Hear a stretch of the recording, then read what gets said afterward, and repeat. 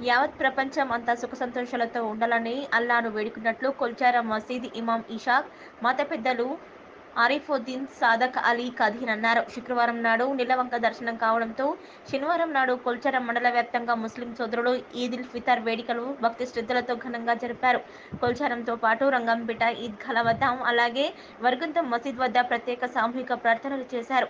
అంతకంటే ముందు గ్రామంలోని పురవీధులకుండా బాజా భజంత్రీలతో ముస్లిం సోదరులు ర్యాలీగా ఈద్గాల వద్దకు చేరుకున్నారు. ఈ సందర్భంగా మత గురువు ఇసాక్ రంజాన్ ప్రాముఖ్యతను వివరిస్తూ శాంతి సందేశాన్ని ఇచ్చారు. ప్రార్థనల అనంతరం ముస్లిం సోదరుడు ఒకరిని ఒకరు ఆలింగనం చేసుకుని రంజాన్ పండుగ శుభాకాంక్షలు తెలుపుకున్నారు. అనంతరం గ్రామంలోని ప్రసిద్ధ షేక్ షాబుద్దీన్ దర్గాలో ప్రత్యేక ప్రార్థనలు చేశారు.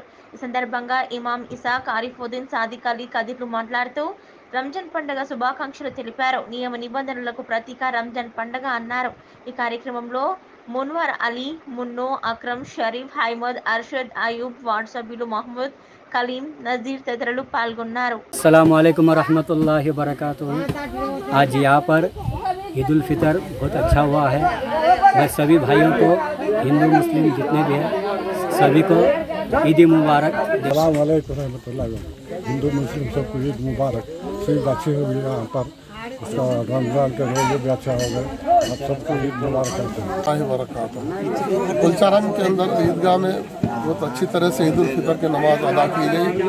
और मैं हर हिंदू, मुसलमान भाई को सबको ईद की मुबारकबादी देता हूँ। रहमतुल्लाह हूँ आज इस कुलचारम शरीफ में जो ईद यानी रमज़ान की ईद बड़े धूमधाम से मनाई गई है।